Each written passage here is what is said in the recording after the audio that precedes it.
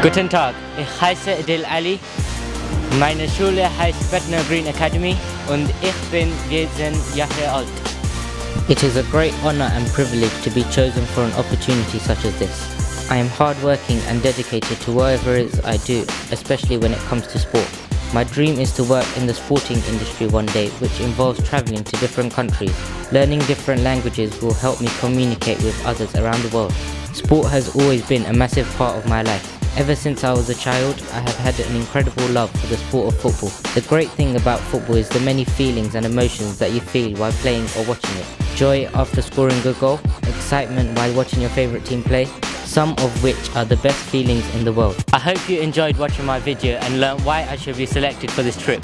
Thank you for watching.